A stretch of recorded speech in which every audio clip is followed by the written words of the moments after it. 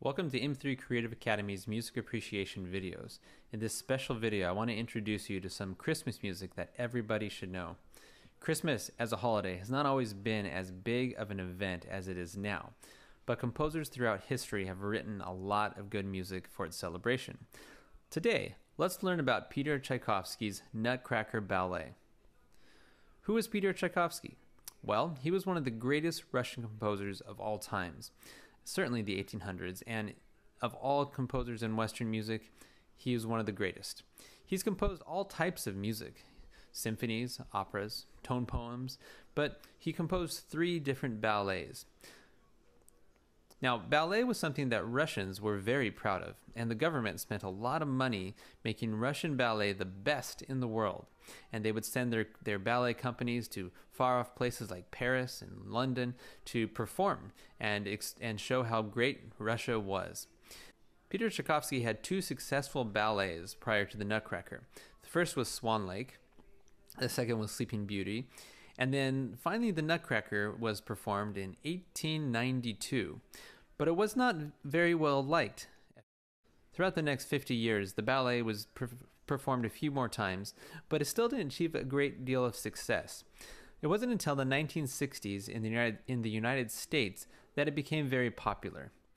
After the ballet achieved less success than Tchaikovsky expected, he turned the music into an orchestral suite. So it was just orchestra, and no dancing. This performance was, however, met with lots of success. People loved the music. Now, a few things you should know about the original ballet. First, it was cast with children in the roles of Clara and Fritz. Both of these kids were dancers, uh, were dance students at the time. Now, later productions would cast adults in these roles because of the demanding dances that they were required. Now, today, ballet companies often invite ballet students to help perform the various dances. This photo that you can see up here was taken from the first production in 1892 in St. Petersburg, Russia. Here's another one. This is a photo of the Sugar Plum Fairy and the Mouse King. Now, one thing Tchaikovsky did in this was pretty unique. He used what is was pretty much a brand new instrument at the time, the celesta. It's a French instrument and it was it, the the title actually means heavenly, and it sounds heavenly too. The, the the keyboard is played and it produces a very soft bell-like sound.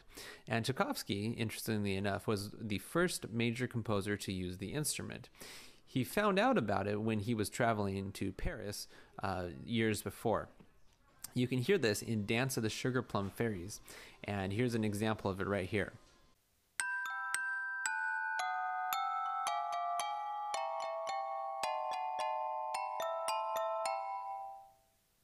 All right, so we've learned a little bit about Peter Tchaikovsky and the Nutcracker Suite.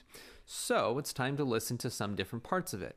Here are five different parts the decoration of the Christmas tree, which comes from the, the beginning of the ballet, the march, which you'll probably recognize, the Russian dance towards the end, the waltz of the flowers, and then finally the dance of the Sugar Plum Fairy.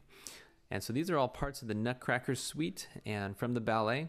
So enjoy this wonderful Christmas music.